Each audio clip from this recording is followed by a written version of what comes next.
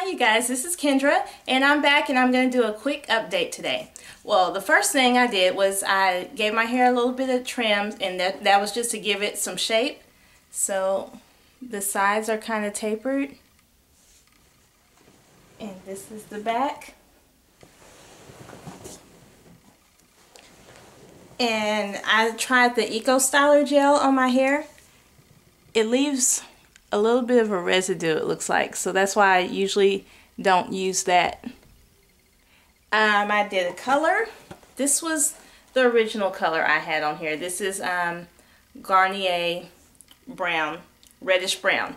And first I used this color about a week ago and it was kind of too orangey. So then I had to use this color and this is what this color gave me. It still has a reddish tint to it, but this is called Soft Mahogany Dark Brown 415, still Garnier, and that works out pretty well for me. Um, whenever I condition my hair, I use the this pure coconut oil, and it looks like, almost looks like Crisco or shortening. And then whenever you put in your hand, it kind of melts a little bit. Okay, and also I tried this, the Argan, Argan oil, I think, from Sally's. I tried the conditioner and the shampoo, and it's supposed to be organ organic and good for the hair. It smells really good, but I used this conditioner after I colored my hair, and I used the coconut oil for a deep conditioner. And I think it worked pretty good. My hair felt really soft after that.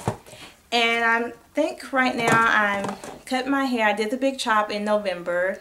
So December, January, February, March. It's March right now. So that's been about four months. So this is my four month update. And I was, this was kind of a twist out. First I did um, I'm able to twist it now. So I did a twist out, but then I kind of messed with it. So it's not really twist out anymore. But um, that's it. So if you guys have any comments, please leave it or questions.